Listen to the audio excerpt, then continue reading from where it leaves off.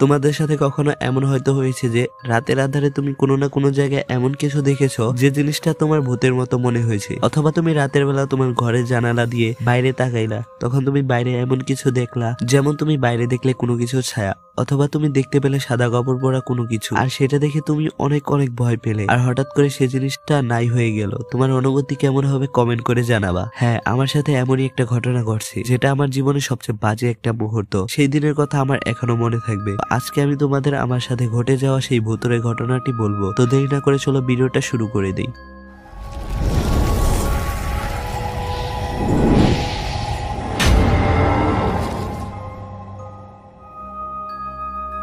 ঘটনাটি আজ থেকে আরও তিন বছর আগে তখন আমি ক্লাস টেনে পড়ি। তো এমনই একদিন পড়ালেখা বাদ দিয়ে বন্ধুদের সাথে আড্ডা মারছিলাম। কারণ সেদিন আমার বাসায় কেউ ছিল না। যদি আমি পড়তেই না বসে, আমাকে বলবেই বা কে। আমি তো পুরো চিল মুডে ঘুরে বেড়াচ্ছিলাম। তো তখন বাজে রাত এগারোটা। আমরা সবাই একটি ব্রিজের উপর বসে আড্ডা মারছিলাম, আর তখন সবাই সিদ্ধান্ত নিলাম যে ফ্রি ফায়ার গেম খেলি। আর সবার কাছেই কাস্টম ছিল, তাই সেদিন অনেক কাস্টম খেলা হয়েছে। আর আমার বাসাও ব্রিজ থেকে একটু দূরে, যাইতে সাত আট মিনিট লাগে। তো গেম খেলা শেষে আমরা সবাই নিজ নিজ বাসায় চলে যাওয়ার সিদ্ধান্ত নিলাম। তো সেদিন আমার কেন যেন অনেক অনেক ভয় লাগতেছিল। তাই এক বন্ধুকে বললাম, আজকে আমার সাথে আমার বাড়ি চল। তো এই গল্পের জন্য সেই বন্ধুর নাম দেব নারিকেল। তো নারিকেলকে বললাম ওই নারিকেল, আমার অনেক ভয় লাগতাছে, আমার বাসায় কেউ নাই, তুই আমার সাথে চল না আমার বাসায়। তখন নারিকেল বলল, মজা নেস, ভয় আবার তুইও পাস, বিশ্বাস হয় না। তখন আমি বললাম, ভাই, আজকে সত্যি অনেক ভয় লাগতাছে, চল না আমার সাথে।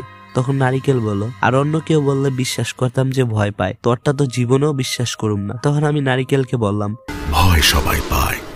গলা সবারই শুকায়। তখন নারকেল বলল এই নে মাউন্টেন ডিও খা আর ভয়কে জয় কর। তখন আমি সাহস করে মাউন্টেন ডিও খাইতে খাইতে বাসার দিকে যাইতে থাকলাম। তো মাউন্টেন ডিও খাওয়া শেষে আমি এই ডায়লগটা মারলাম। মাউন্টেন ডিউ ভয়ের মায়ের চুদি তো এই ডায়লগটা মেরে আমি বাসায় চলে আসলাম। ঘর তো পুরোপুরি অন্ধকার আর রুমের জানালা লাগাতে ভুলে গেছি। তখন বাজে রাত সাড়ে বারোটা তো আমি প্রথমে করলাম সব ঘরে লাইট জ্বালালাম যাতে অন্ধকারটা দূর হয়ে যায়। আর সিদ্ধান্ত নিলাম আজকে আর লাইট অফই করব না। তারপর গেলাম জানালা বন্ধ করতে। এক এক করে সব জানালা বন্ধ করলাম।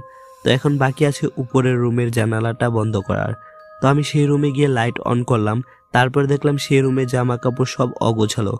মনে হয়েছে যে ঘরে কেউ আসছিল। তো তখন আমি একটু ভয় পেলাম। তারপর ওই রুমের জানালা বন্ধ করতে গেলাম। বাইরে হাত দিয়ে জানালা বন্ধ করতে যাব আর দেখি জানালা জ্যাম হয়ে গেছে। বন্ধ হচ্ছেই না। তো আমি অনেকক্ষণ চেষ্টা করতেছি। তো সেই জানালাটা থেকে দূরে একটি কবরস্থান দেখা যায়। সেখানে টিপ টিপ আলো জ্বলছে। ভালো করে কিছুই বোঝা যায় না। তো এমন সময় আমার চোখ পড়ল কবরস্থানের একটি ঘরের দিকে।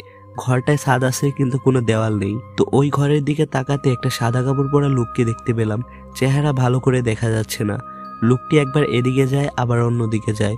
ওইটা দেখে লিটারালি আমার কলজা ফেফরা যা আছে সবকিছু জাম্পিং জাম্পিং করতেছে। তো ওইটা দেখার জন্য আমি মোটেও প্রস্তুত ছিলাম না, আমি তো ভয়ে আরও জানালা বন্ধ করতে পারতেছিলাম না। আমার গলা দিয়ে আওয়াজও বের হচ্ছে না। তখন আমি জানালা না লাগিয়ে এমন দৌড় দিছি নিচের রুমের দিকে, আর আমার গলা থেকে এমন জোরে আওয়াজ বের হয়েছে যে আশেপাশে যত প্রতিবেশী আছে সব দৌড় পেরে চলে আসছে। তখন আমি বাইরে যাই আর অজ্ঞান হয়ে যাই। অনেকক্ষণ পর আমার হুশ ফিরে। তখন আমি সবাইকে বললাম, ওই কবরস্থানে কেউ আছে সাদা কাপড় পরে? তখন ওইখানে থাকা কিছু লোক বলল, আরে তুমি ভয় পাইছো কেন শুধু শুধু?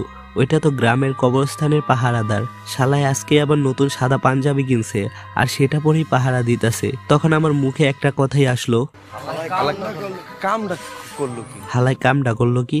তো তখন আমার প্রতিবেশীরা ওই পাহারাদারকে ডাকলো, আমাকে দেখানোর জন্য যে ওইটা কোনো ভূত না, যাতে আমি রাতে ভয় না পাই।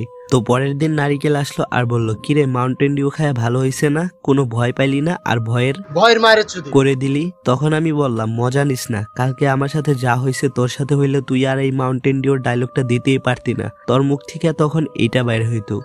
মাউন্টেন ডিউ ভয়ের মায়ের চুদি। স্প্রাইট খাই ভাই চোদাচুদির মধ্যে নাই। যাই হোক অনেক ভয় পাইছি কালকে রাতে। তখন আমি নারিকেলকে সবকিছু খুলে বললাম আর আমার ফ্যামিলির সবাই এটা শুনে বাসায় চলে আসে। তারপর থেকে কখনোই আমাকে একা বাসায় রেখে কোথাও যায়নি। ওকে গাইস গল্পটি কেমন লাগল অবশ্যই কমেন্ট করে জানাইবা। গল্পের মাঝে হালকা হালকা একটু ফানি দিছি মানে একটু ডিফারেন্ট কিছু ট্রাই করলাম। আর এই গল্পটা অন্য চ্যানেলে আপলোড করা হয়েছে এফ এফ নুপ টেন কে মানে ভিডিওটা কোলাপ করছে পেড তো এটা তার চ্যানেলে আপলোড করা হয়েছে। তো সবাই যাও, তার চ্যানেলে সাবস্ক্রাইব করে দাও। তো নিচে দেখতেছো সাবস্ক্রাইব বাটন সেটাকে সাদা করে দাও। লাল আছে, লাল রক্তের মতো আছে, ভূতের মতো। তো তোমরা যদি চাও তোমাদের ভূতে না ধরুক, তাহলে ওটাকে সাদা করে দাও। কারণ লাল থাকলে তোমাদের ভূতে ধরবে।